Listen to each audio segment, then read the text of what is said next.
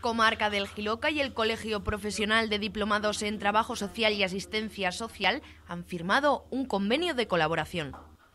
Vamos que esto es un poco la rectificación del trabajo que está haciendo Joaquín, el, trabajo, el coordinador social, para colaborar un poco con el Colegio de Trabajadores Sociales para, sobre todo, planes de emergencia y planes de situaciones especiales que pueda ocurrir, pues es un poco la continuación y la plasmación en un documento eh, de dicha colaboración. Lo más importante para nosotros es que una comarca como la, como la que nos encontramos tiene una sensibilidad especial con el tema de las grandes emergencias y catástrofes y reconoce el papel y labor, la labor que puede hacer el trabajador social dentro de, de, estas, de estas situaciones. Los equipos psicosociales en la atención temprana de los afectados en una situación de emergencia es, según este colegio profesional, fundamental para evitar el estrés postraumático.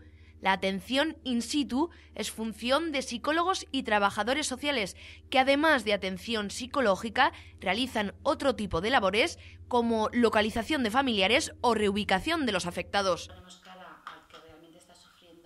La firma de este convenio supone un paso más en la colaboración que mantienen Protección Civil y los trabajadores y asistentes sociales. Tenemos firmado un convenio con la Consejería de Ordenación Territorial, de Política Territorial, por la que eh, nos comprometemos a formar a voluntarios de agrupaciones en temas de, de evacuaciones, en grandes emergencias y catástrofes. Por otro lado, también formamos a trabajadores sociales para que se incorporen al grupo de intervención social en emergencias que gestiona el Colegio de Trabajadores Sociales de Aragón.